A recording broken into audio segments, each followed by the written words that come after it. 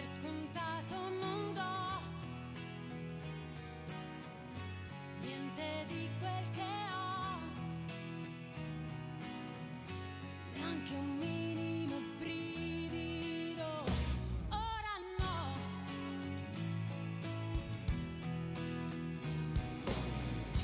It's the